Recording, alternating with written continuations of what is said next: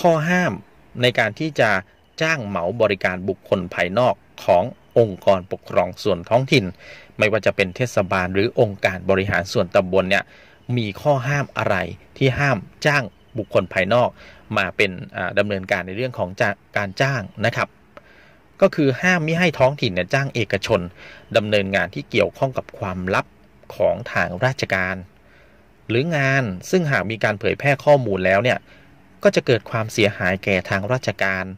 หรืองานที่มีลักษณะของการบังคับใช้กฎหมายที่มีผลกระทบกับประชาชนนะครับ นี่ในข้อนี้นะครับ เป็นข้อห้ามไม่ให้ท้องถิ่นเนี่ยดำเนินการจ้างเหมาบริการ เอกชน บุคคลธรรมดา หรือนิติบุคคลมาปฏิบัติงานนะครับ ซึ่งก็เป็นไปตามหลักเกณฑ์การดำเนินการจ้างเอกชน และการเบิกจ่ายเงิน ค่าจ้างเหมาบริการของท้องถิ่น ตามหนังสือกระทรวงมหาดไทยที่มท 0808.2ทับว4044 ลงวันที่ 10 กรกฎาคม 2563